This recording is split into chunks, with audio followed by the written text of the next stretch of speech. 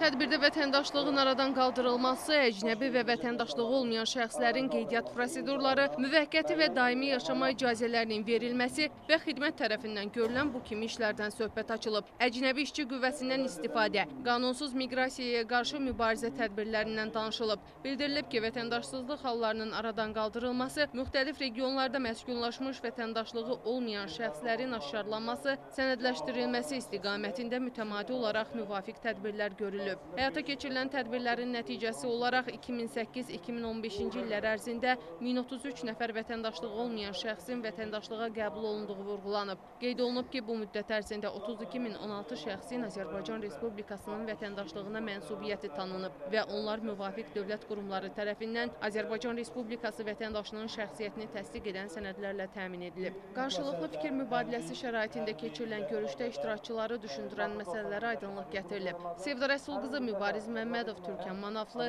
Qalx.